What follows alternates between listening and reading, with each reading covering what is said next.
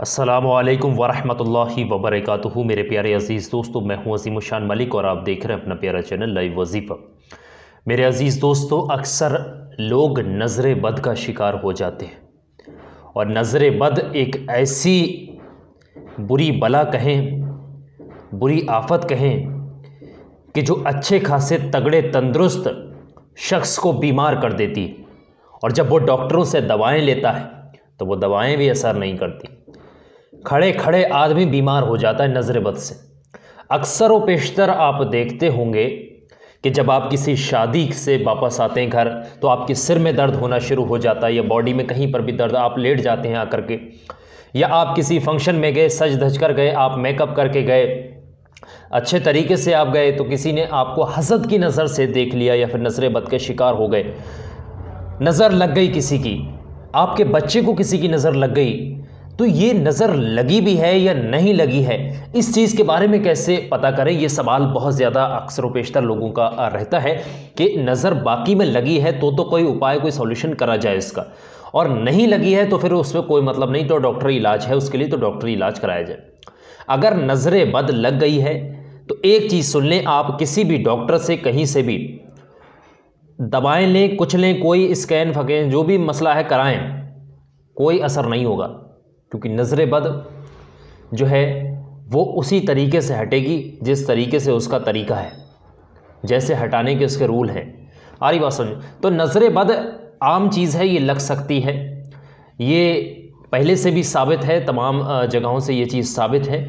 تو نظر بد کسی بھی شخص کو لگ سکتی ہے، اس میں کوئی دو راہ نہیں۔ ہے تو نظر بد ہے یا نہیں ہے، اس چیز کو کیسے چیک کریں، یہ پورے ڈیٹیل میں آج آپ کو بتائیں گے۔ اگر نظر بد ہے تو اس کو چٹکیوں میں آپ اتار سکتے ہیں۔ آ رہی بات چٹکیوں میں آپ اتار سکتے ہیں۔ بیمار شخص اگر ہو گیا ہے ترنت نظر بس سے تو ترنت سیدھا اٹھ کر کے کھڑا ہو جائے گا۔ اتنا پاورفل یہ عمل ہے۔ تو میرے عزیز دوستو، اس عمل کو کرنے کے لیے پورا ڈیٹیل میں طریقہ آپ کو سمجھانے والے ہیں۔ ایک بھی سیکنڈ کے ویڈیو کو اسکپ نہ کریں۔ بہت ہی محنت کے ساتھ اس ویڈیو کو آپ کی خدمت میں حاضر کر رہے ہیں۔ آپ لوگوں کا بھی فرض بنتا ہے کہ اس ویڈیو کو ثواب کی نیت سے لائک کریں اور صدقہ جاریہ کی نیت سے آگے ضرور شیئر کر دینا۔ اور پیارا سا کمنٹ میں ضرور بتانا، پیارا سا کمنٹ کر کے کہ کیا چیز آپ کو اس ویڈیو میں اچھی لگی اور کیا چیز سمجھ میں آئی اور کیا چیز نہیں ہے کمنٹ کر کے ضرور جائیں۔ تو آئیے میرے عزیز دوستو، سب سے پہلے تو اس عمل کو کرنے کے لیے آپ کو کسی بھی دن آپ اس عمل کو کر سکتے ہیں کسی بھی وقت جب بھی آپ کو لگے کہ کوئی شخص بیماری کی حالت میں وہ شخص خود بھی کر سکتا ہے اور اگر خود نہیں کر سکتا، دھیان سے سن لیں، اگر خود نہیں کر سکتا تو گھر کا کوئی بھی سدس، کوئی بھی بندہ اس کو کر کے دے سکتا ہے۔ آ رہی بات سنیں، تو کرنا کس طریقے سے؟ اس عمل کو کرنے کے لیے آپ نے کچھ چیزوں کی ضرورت پڑے گی، جو چیزیں معمولی سی چیزیں یہ آپ کی اسکرین پر لگی ہوئی سوکھی مرچیں۔ یہ آپ کو نظر آ رہی، اس طریقے کی سوکھی مرچیں ہوتی ہیں۔ یہ سوکھی مرچ کی ضرورت پڑے گی آپ کو۔ ویسے تو نظر بد بہت آسان ہے اور تمام طریقے سے اتر جاتی ہے لیکن یہ بہت ہی نہایت ہی آسان طریقہ جو میں آج آپ کو بتانے والا ہوں۔ بری نظر ہٹانے کے لیے، حفاظت کے لیے آج اگر آپ کے کام کی نہیں ہے تو ویڈیو، تو آپ کل یہ ویڈیو آپ کے کام کی ہوگی۔ ہو سکتا ہے نظر بد تو کسی کو کسی بھی وقت لگ سکتی ہے۔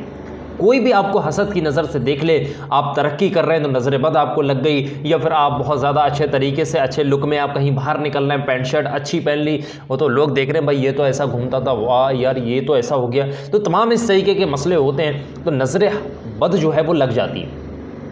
تو اب اس کے لیے آپ نے کرنا کیا ہے؟ دیکھیے میں سب سے پہلے آپ کو بتا دوں، جس بھی شخص کو نظر بد ہے، آپ کو لگ رہا ہے اس کو نظر بد ہے، اس کو سامنے بیٹھا لیں لٹال لیں اس کو۔ لٹال لیں کہ اب جس طریقے سے آپ لیٹتے ہیں، کعبے کی طرف کو پیر نہ کر کے لٹا لیں، یہ چیز میں آپ کو پہلے بتا رہا ہوں، کعبے کی طرف کو پیر نہ کریں، ٹھیک ہے؟ کعبے شریف کی طرف کو پیر نہ کریں، جیسے آپ لیٹتے ہیں گھر میں معمول کا حساب سے اس طریقے سے اس کو لٹال دیں چارپائی پہ لٹال دیں یا فرش پہ زمین میں کہیں پر بھی آپ لٹال سکتے ہیں۔ اب کرنا کیا ہے؟ بہت دھیان سے سنیں۔ سات کی سات سوکھی مرچیں، آپ نے سات سوکھی مرچیں لینی ہے یہ چیز میں آپ کو بتا رہا ہوں، سات سوکھی مرچیں آپ لیں گے اور سات کی سات سوکھی مرچوں کو سامنے رکھ لیں گے۔ اب آپ جب بھی جو بھی بندہ اس عمل کو کر رہا ہے، کسی کے لیے بھی کر کے دے رہا ہے، تو وہ نہا دھو کر پاک صاف ہو کھری اس کو کرے، ایسا نہیں گندے حالات میں اس کو پڑھنا اس نے شروع کر دیا۔ ٹھیک ہے؟ آپ نہیں کر پا رہے ہیں اپنے گھر پہ، تو کسی سے ان سوکھی مرچوں کو پڑھوا بھی سکتے ہیں۔ تو یہ چیز بھی آپ سن لیں۔ تو پڑھنا کیا ہے؟ بہت دھیان سے سن لیں، میں ایک ایک چیز آپ کو بتا دے رہا ہوں۔ سب سے پہلی چیز ہے، میں آپ کو بتا رہا ہوں، آپ کی اسکرین پر یہ ایک آیت مبارکہ لگی ہوئی ہے، جس کو ہم سورہ فلک کہہ رہے ہیں۔ ٹھیک ہے۔ یہ سور فلک آپ نے بسم اللہ الرحمن الرحیم پڑھ کر کے شروع کرنی ہے۔ بسم اللہ الرحمن الرحیم۔ پھر یہ سور فلک آپ کی آسانی کے لیے میں نے ہندی زبان میں یہاں پر لگائی ہوئی ہے۔ قرآن عظیم کے اندر یہ ہندی زبان میں نہیں بلکہ عربی زبان میں موجود ہے۔ لیکن ہم نے آپ کی آسانی اور سہولیت کے لیے سور فلک آپ کی اسکرین پر لگائی ہوئی ہے۔ یہ ایک مرتبہ آپ نے پڑھنا ہے۔ ایک مرتبہ جب آپ پڑھ لیں گے، اس کے بعد پھر دوبارہ سے پھر پڑھیں گے بسم اللہ الرحمن الرحیم۔ بسم اللہ پڑھ کر کے آپ کی آسانی کے لیے ہم نے سور ناس کو بھی اسکرین پر ہندی زبان میں لگایا ہوا ہے۔ یہ سور ناز ہے۔ دونوں کی اسکرین شاٹ لے لے آپ نیٹ سے بھی ہندی میں نکال سکتے ہیں۔ ہندی میں یہ آپ کو ہے تو آسانی کے ساتھ ہر شخص پڑھ سکتا ہے۔ تو یہ سور فلک اور سور ناس دونوں جب آپ پڑھ لیں گے، اس کو پڑھنے کے بعد میں آپ کو بتا رہا ہوں، جس چیز کو اس کو بہت دھیان سے سنیں۔ پارہ نمبر انتیس قرآن عظیم کے اندر پارہ نمبر انتیس۔ سور قلم کی آخری آیت۔ میں اس کا حوالہ یعنی ریفرنس بھی دے دوں، اگر کوئی قرآن عظیم کی مدد سے پڑھنا چاہ رہا ہے، قرآن عظیم کی مدد سے اگر اس کو دیکھنا چاہ رہا ہے حوالہ پوچھنا چاہ رہا ہے ریفرنس اس کا پوچھنا ہے بھائی قرآن، تو میں آپ کو بتا رہا ہوں۔ تو سور قلم کی آخری آیت پارہ نمبر انتیس میں یہ موجود ہے، جو میں اب آپ کو بتانے والا ہوں۔ یہ آپ کی اسکرین پر لگی ہوئی ہے، یہ آپ دیکھ لیں۔ میں نے اس کو یہاں پر لگا دیا ہے۔ اب اس کو آپ دھیان سے سن لیں، یہ جو لگی ہوئی ہے اس کو آپ نے پڑھنا ہے۔ ایک مرتبہ پڑھنا ہے۔ پڑھنا کس طریقے سے میں آپ کو بتا دے رہا ہوں۔ پہلے آپ نے اول میں دونوں صورتوں کو پڑھ لیا ہے سور فلک اور سور ناس کو۔ اس کے بعد آخر میں پڑھیں گے، بسم اللہ الرحمن الرحیم۔ بسم اللہ پڑھ کر کے اس کو شروع کریں گے اس طریقے سے۔ بسم اللہ الرحمن الرحیم۔ وَإِن الَّذِينَ قَفَارُ لَا يُزْلِعُونَ بِأَبْصَارِهِمْ لَمَّا سَمِعُوا الذِّكْرَ وَيَقُولُونَ إِنَّهُ لَا مَجْنُونَ۔ وما ہو و اللہ ذکر عالمین اس طریقے سے یہ پوری آیت ہے۔ ایک بار میں اور پڑھ کر میں آپ کو آسانی کے لیے ہندی میں بتا رہا ہوں اور آرام آرام کے ساتھ بتا رہا ہوں۔ ایک ایک برڈ کو بننا میں ایک سو تیزی میں پڑھ سکتا تھا۔ پھر سے سن لیں ایک مرتبہ۔ بسم اللہ الرحمن الرحیم۔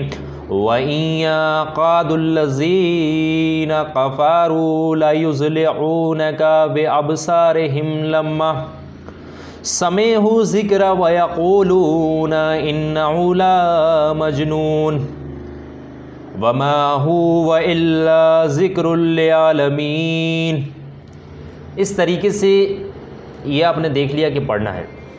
تو میرے عزیز دوستو، یہ طریقہ ہے اس کو پڑھنے کا۔ تینوں چیزوں کو جب آپ پڑھ لیں گے، پڑھنے کے بعد ایک سوکی مرچ کو، ایک سوکی مرچ کو آپ اٹھائیے۔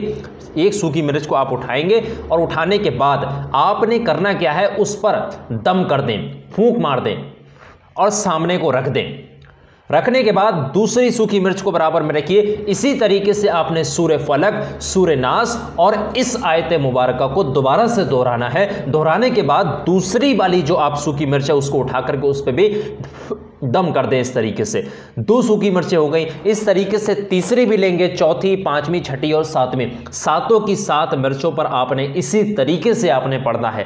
جب آپ اس کو ساتوں مرچوں پر مکمل طور پر پڑھ لیں گے، یہاں پر ایک بہت بڑی شرط یہ ہے جو آپ نے خاص طور سے سمجھنا ہے، جو آپ سوکھی مرچیں لیں گے، اس کے پیچھے ڈنڈی لگی ہوئی ہونا ضروری ہے۔ ایسا نہیں کہ ٹوٹی پھوٹی آپ نے کچلی بھی سوکھی مرچیں لے لیں آپ چھانٹ کر کے اچھی سی سات سوکھی مرچیں نکال لیں۔ ٹھیک ہے، یہ چیز آپ سن لیں۔ چھانٹ کر کے سات سوکھی مرچیں جب آپ نکال لیں گے، انہی پر ہی آپ اس عمل کو کریں، ٹوٹی ہوئی سوکھی مرچیں نہ لیں۔ یہ چیز میں آپ کو یہاں پر کلیئر کرے دیتا ہوں۔ اب اس کے بعد کیا ہوتا ہے؟ مسئلہ۔ جیسے ہی سات سوکھی مرچیں آپ پڑھ لیں گے، بندے کو آپ نے سامنے لٹال رکھا ہے۔ اپنے سیدھے ہاتھ میں ان ساتوں سوکھی مرچوں کو پکڑیے اور اس شخص کے اوپر سے سات مرتبہ اس طریقے سے، جیسے کہ وہ شخص یہ لیٹا ہوا ہے۔ ٹھیک ہے؟ یہ شخص لیٹا ہوا ہے، یہ اس کا منہ ہے اور یہ اس کے پیر ہے اب اس کو کیا کرنا ہے؟ سات مرتبہ اس طریقے سے آپ اس کے اوپر سے دو، تین، چار، پانچ، چھ اور ایک سات مرتبہ اتار دیں۔ ٹھیک ہے، سات مرتبہ ان ساتوں سوکھی مرچوں کو آپ اتار دیں گے۔ اتارنے کے بعد اب آپ نے کیا کرنا ہے؟ بہت دھیان سے سنیں۔ وہیں پر اس کے آس پاس ہی ان ساتوں کی ساتوں سوکھی مرچوں کو آپ جلائیں گے۔ اسی جگہ پر آس پاس ایک دو میٹر کی دوری پر، ٹھیک ہے؟ اس کے برابر میں ہی۔ جب آپ جلائیں گے ان سات سوکھی مرچوں کو۔ اب نارملی جب آپ سوکھی مرچوں کو جلاتے ہیں تو بہت زیادہ عجیب سی اسمیل آتی ہے دھانس چیز چڑھتی ہے۔ تو آپ کو چھینکیں آتی ہیں، کھانسی آتی ہے، تمام اس طریقے کے پھندے لگتے ہیں۔ کیونکہ جب مرچ جلتی ہے تو بہت بری دھانس آتی ہے۔ یہ چیز آپ نے بھی محسوس کی ہوگی جب تڑکا لگتا ہے، تمام اس طریقے کے مسئلے ہوتے ہیں۔ تو جب سوکھی مرچوں کو آپ جلائیں گے تو آپ کی سوکھی مرچوں میں سے سات سوکھی مرچیں جب آپ جلائیں گے، اس میں سے اگر بری طریقے سے دھانس آ رہی ہے نارملی، جیسی دھانس مرچوں سے نکلتی ہے، تو آپ سمجھ لیں، دھیان سے سنیں، دھانس اگر آ رہی ہے، تو آپ سمجھ لیں کہ اس شخص پر کوئی نظر بد نہیں ہے، وہ ایک ڈاکٹری پیشنٹ ہے۔ اس کو ڈاکٹر کی ضرورت ہے، ان دعاؤں کی ضرورت نہیں ہے۔ ارے بات ان دعاؤں سے اس کا کچھ نہیں ہوگا، اس کو ڈاکٹر کی مدد لیں۔ اس کو کہیں نہ کہیں اسپتال میں کسی اچھے ڈاکٹر کو دکھانے کی بہت جلد ضرورت ہے۔ اگر ان سات مرچوں کو جلانے کے بعد اس میں سے دھانس ہی نہیں آ رہی ہے، دھانس ہی غائب ہو گئی۔ تب بہت دھیان سے سنیں۔ تب مسئلہ یہ ہے کہ وہ شخص نظر بد کا شکار ہے۔ مرچ اگر نارملی جل جاتی ہے، جیسے کہ عام مضمون کے حساب سے جلتی ہے، اس سے بدل کر کے مطلب یہ ہے کہ خوشبو ہی نہیں آ رہی، اس میں سے دھانسی نہیں آ رہی، تو آپ سمجھ لیں کہ وہ شخص نظر بد کا شکار تھا اور وہ شخص نظر بد کا شکار ہے۔ یہ نظر بد کو اتارنے کا طریقہ بھی ہے۔ تو نظر بد تو اتر جائے گی یہ طریقے سے اور آپ کو پتہ بھی لگ جائے گا ہاں کہ اس کے اوپر نظر بد تھی۔ تو یہ پورا طریقہ میں نے آپ کو ہندی زبان میں بہت ہی آسانی کے ساتھ پریکٹیکلی کر کے میں نے آپ کو بتا دیا۔ اس سے زیادہ مجھے نہیں لگتا کہ بہتر طریقے سے آپ کو یوٹیوب پر یا پھر کوئی بھی سمجھا سکتا ہے۔